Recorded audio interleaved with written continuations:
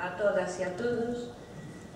Eu, antes de empezar, quería facer unha proposta, e é que demos un recreo porque se ve co Partido Popular as 12 marchan casi todos e non están aquí ou porque non lles interesa do que estamos a falar. Decía o señor conselleiro que se se podía facer mellor, o que teño claro que peor é difícil facer. Hoxe veñen aquí, ademais, a petición propia para explicar as líneas de actuación da Consellería, e realmente non explicou nada. Viven vostedes nos mundos de Yupi ou de Alicia no País das Maravillas ou non sei onde viven, pero realmente viven moi longe da realidade galega.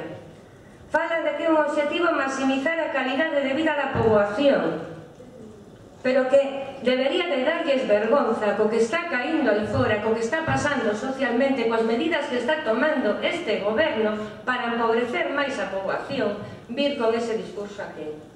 É unha falta de respeto á inteligencia humana e unha falta de respeto á poboación que cando todos son recortes en sanidade, en servicios sociais, en educación, nos comedores escolares, nos veñan decir que as políticas do Partido Popular van dirixidas a maximizar a calidade de vida da poboación.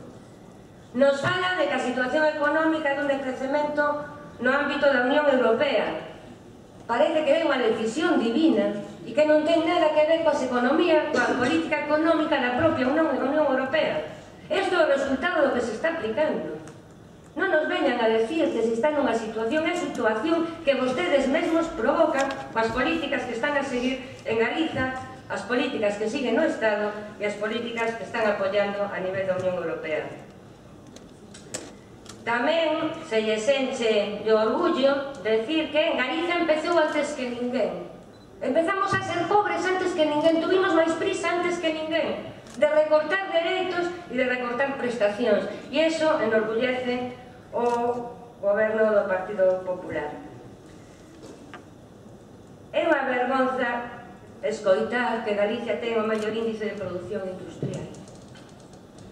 Os demais sabemos ler, É algo que teñen que recordar. A poboación non é analfabeta e lé. E lé que en Galicia é onde máis empresas pecharon no ano pasado e que é a comunidade onde menos empresas novas se abriron o ano pasado. Polo tanto, non sei que nos están vendendo. Si falamos do empresariado galego, manifesta en casi un 50% un gran pesimismo respecto ao futuro económico deste país e ao futuro empresarial ao, en, en autónomos se sen boca falando do apoio aos emprendedores. Os emprendedores en Galicia no ano pasado, no mes de decembro, se perderon 419 emprendedores que tuveron que pechar as súas empresas. En total, no ano, 3.080 autónomos que intentaron iniciar un negocio tuveron que pechalo por falta de axudas. Fala de internacionalización. Según o informe do BBVA, para 2013 o comercio exterior galego está en declive. Non avanza, cada vez exportamos menos. E di o BBVA no seu estudo que é por falta de diversificación mm, e por falta de apoio institucional. Non vou a insistir no tema de Pescanova, porque aquí parece que a Xunta non ten nada que ver, o acaba de decir a compañera do BNG, con caramelo, que fixo a, a Xunta, que fai a Xunta, como fai seguimento a Xunta, tanto das empresas onde están os consellos de administración como das axudas, que aportan desde o IGARTE. Non hai ningún seguimento das mesmas, simplemente se otorgan axudas, non sabemos para que, pero que sí sabemos é que a maioría das empresas que están recibindo axudas importantes do IGARTE as utilizan para pagar despedimentos, non para facer viable as súas empresas. Pescanova declara un beneficio de máis de 15 millóns e seis meses despois estamos en esta situación. Que pasou en Frinova? Cal é o papel que ten a Xunta de Galicia nese eh, Consello de Administración? A venda das empresas a outros países caíron un 7,8%. Ese é o gran éxito en internalización. Mentras que no Estado caíu un 1,3%. A automoción desaparece. O naval morto de donde, cando falan de investimentos de sectores productivos, aí me chama a atención que o señor conselleiro diga que hai que redefinir o tecido productivo galego, porque eu pensaba que o goberno se o tiña definido, pero parece que non, para cando remate a crise.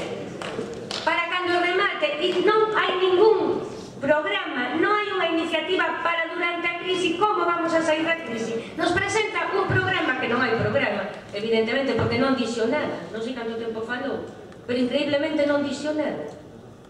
E nos di que para cando me mata a crise. Pois dimitan, e presentense cando me mate a crise. Porque o que necesitamos é un goberno que nos quite desta crise, non un goberno que este esperando. Competitividade. Que entenden por competitividade?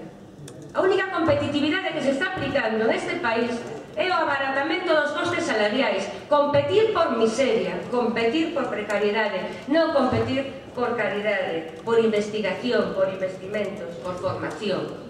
Todo eso está abandonado, simplemente reducimos os costes salariais. Chama atención, evidentemente, cando nos fala da internalización do acordo con Pemex. Por favor, enséñenos. E que veñen de México co mesmo, sin nada, con promesas. Donde está o acordo de Pemex a empezar a construir os flotéis. Donde están os remolcadores prometidos? Son palabras que levan vostedes máis dun ano intentando que os traballadores do naval se crean as súas promesas sin nada máis. E bueno, cando metemos en economía verde a minería, ¿eh? eso é desvergonza. Eso xa non é mentir, eso xa non é enganar, eso é a maior desvergonza que se pode decir dentro da Consellería de Industria. Miren, 300 empresas se reparten en Galiza o negocio da minería.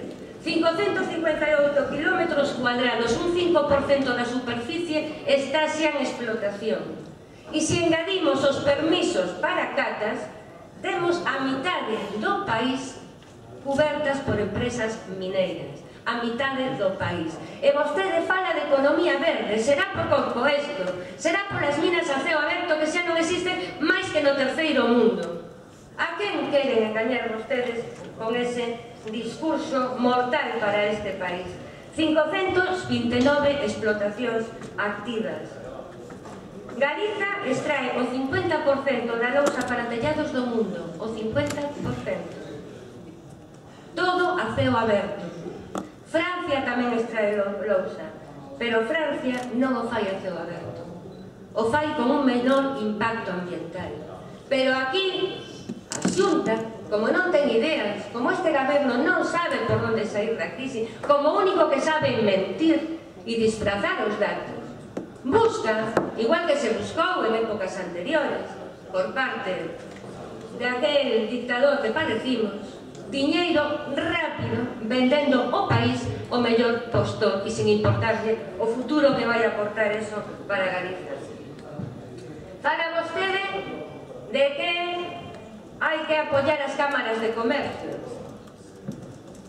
Será polo papel que están facendo, porque nos metimos unha iniciativa que se investiga o papel das cámaras de comercio. Que están facendo as cámaras de comercio? Que ocurriu coa Cámara de Comercio de Pontevedra? Por que Xunta de Galicia está reconocendo unhas cámaras de comercio aos representantes que non son nin afiliados á Cámara de Comercio, pero que sí os aceptan como, como eh, interlocutores. Polo tanto, creemos que a Xunta de Galicia non nos explicou nada, o Conselleiro non explicou nada. Por favor, Na seguida intervención eu lle pido que realmente explique cales son os plans da Consellería para o Naval de Vigo, cales son os plans da Consellería para o Naval de Ferrol, que vai pasar co dique flotante, que pasa coa empresa Pescanova, que a se está facendo a xunta, que pasou con Caramelo, que vai a pasar por, por, con Pórtico, todo empresas galegas que desaparecen. ¿Mm? Queremos saber tamén que vai pasar cos fondos do IDAPE, Hai despois unha iniciativa do Partido Socialista que creo moi interesante porque vostede tampouco fala de cal o papel de IGAPE ni cal, ni cal quere que sea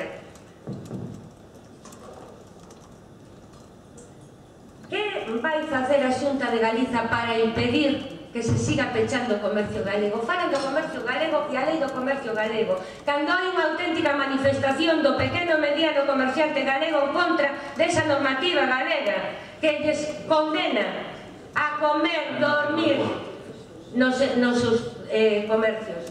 Porque é unha lei feita para as grandes superficies, non a lei feita para o pequeno comercio galego. Falan de apoiar os produtos galegos. Como? Como cando se están vetando en todos os comercios, cando realmente, cando vamos ao mercado, é imposible comprar mazás galegas sectores productivos galegos, o apoio ao agro galego. Donde está o apoio ao sector leiteiro? Donde está o apoio ás empresas? Cal é o plan de futuro que ten esta xunta? Cal é o plan de futuro da Consellería de Galicia? Por, da Consellería de, de, Remate, de Industria. Remato xa. Eu remato e espero que, por favor, na próxima intervención realmente nos conte si teñen algo preparado para como sair da crise. Non me fale para cando salgamos da crise. E se a única solución é para cando salgamos da crise, pense que gobernen outros, presenten por rematar a crise. Gracias.